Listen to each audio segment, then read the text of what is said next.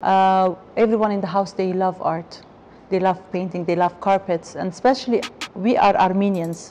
Our origin, it's like more about handmade things. But I love also cooking because my mom, she cooks very nice food. So I love, you know, I took from the both sides.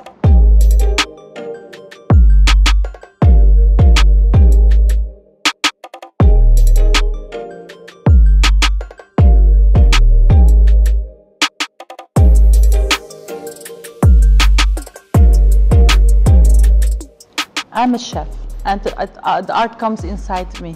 The connection, I think it's the passion. As long as you love what you do and you are doing from the bottom of your heart, this is a passion that you can be perfect in everything. You can satisfy yourself in what you are doing. Passion plays a big role in my life.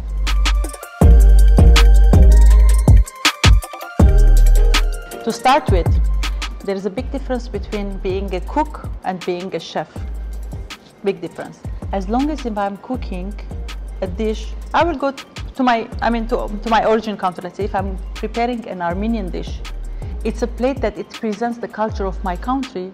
I have to do the same recipe, the same technique, but my own way. I will give you an example. I'm from Urfa. Urfa was in Armenia. We have our special dishes. I cannot go out of the main recipe what we do present. How my mother, my grandfather's mother, they used to present or they prepare.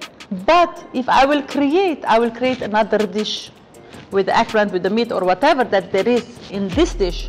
But there are some recipes that we have to go to the roots and we have to prepare the same way. I'm the person that I love to create. As long as I'm in the kitchen, I'm a different person. Wearing my chef jacket and I'm cooking, preparing, cutting, chopping, you know, it's, I love that life. I love, I love. I feel myself that I'm a different person. I feel myself I'm flying. While I'm painting, I feel myself I'm sitting and enjoying life. It's different feelings that I can, seriously, I cannot express.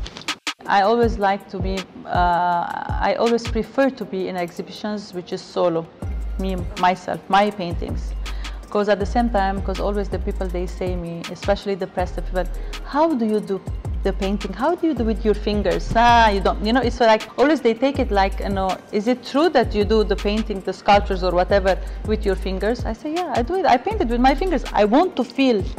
I want to know what i'm painting which techniques that i'm using you know